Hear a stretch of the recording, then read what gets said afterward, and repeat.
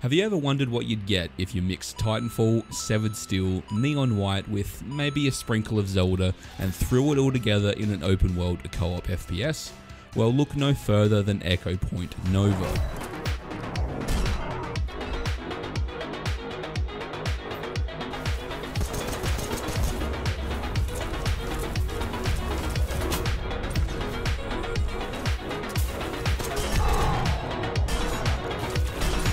Echo Point Nova is a brand new co-op roguelite-ish shooter being developed by the creators of Severed Steel, one of, if not the game with the most satisfying and elegantly simple movement tech, and Echo Point Nova seems to take everything from Severed Steel's perfected movement systems and crank it up to 11. Echo Point Nova is currently taking place in the Steam Next Fest where you can try the demo for free and I promise you if you're a fan of Severed Steel or any game with advanced movement then this game will meet any standards you've set and then exceed them. And like I said, this is just the demo where we're only getting a glimpse into what the full game will be. Echo Point Nova's movement and gameplay is violently fast, yet the gameplay loop evolves into this elegant dance that flows like water.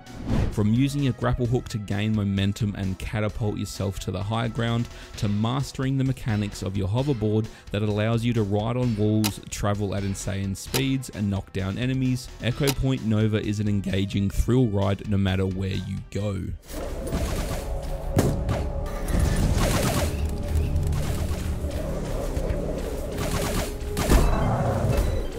Bundle that with an atmospheric, chill soundtrack and up to a 4 player co op experience, this game will keep you and your friends entertained for hours as you explore the vast open environments that complement and synergize with your movement capabilities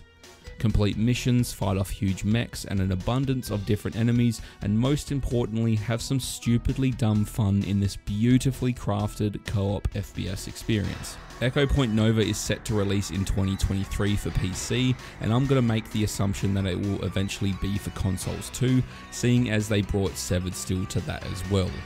If you want to support the developers and keep up with the development, I'm going to leave a link to the game below and also their Twitter. See you in the next one.